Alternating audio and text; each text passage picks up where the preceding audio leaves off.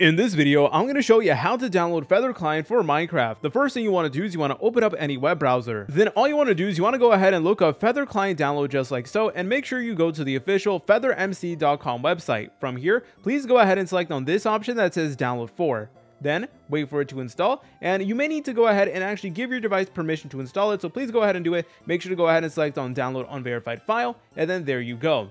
All right, so once it went ahead and finished installing, all you want to do is you want to go ahead and open up the file. Now, depending on your web browser, you may be able to see the Feather Launcher Setup.exe file on the top right like me, but if you don't see it, what you could always do is open up your file explorer and then look underneath downloads. But All you want to do is you want to select on the Feather Client Launcher, go ahead and press on yes. I apologize that my screen was black. But while that's downloading, let me tell you guys about Simple Game Hosting. Simple Game Hosting offers affordable and high quality Minecraft servers where they make it incredibly easy for you to have your own private 24-7 unlimited slot server that you can play with you and all of your friends. What's great about Simple Game Hosting is that they make everything beginner friendly, as they have dozens of video tutorials showing you how to do everything, along with 24-7 live customer support. You can also spice things up in your server by making it crossplay, Java only, Bedrock only, adding mods, plugins, and mod packs with the click of a single button. And at the moment, they're currently doing a sale where everybody who gets a Minecraft server gets 25% off their very first month of server hosting. So guys, if you ever thought about making a Minecraft server, now is the perfect time. And if that's something you're interested in, feel free to check out the link in the description down below and in the pinned comments. Alright guys, that's enough yapping out of me. So once you went ahead and install the Feather client, it is going to take you to a screen that looks like this.